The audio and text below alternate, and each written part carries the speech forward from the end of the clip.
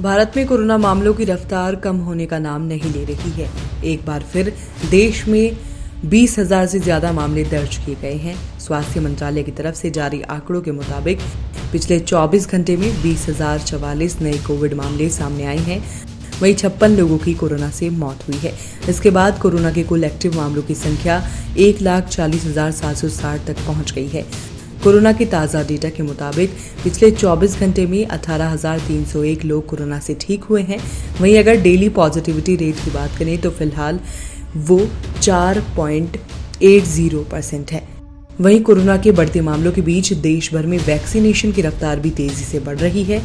भारत में वैक्सीनेशन का आंकड़ा 200 करोड़ के पार पहुँचने वाला है जिसके बाद इस आंकड़े को छूने वाला भारत दुनिया का दूसरा देश बन जाएगा।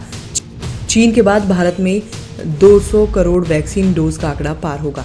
इसके बाद करीब 60 फ़ीसदी आबादी भारत में ऐसी होगी जिसे कोरोना के दोनों डोज लग चुके होंगे।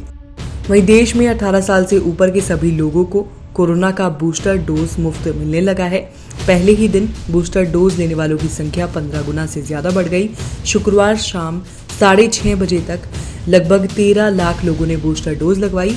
बता दें कि इस आयु वर्ग के लोगों को 10 अप्रैल से बूस्टर डोज देने की शुरुआत हुई थी। इसके बाद छियानवे दिनों में उनहत्तर लाख लोगों ने ही डोज लगवाई थी।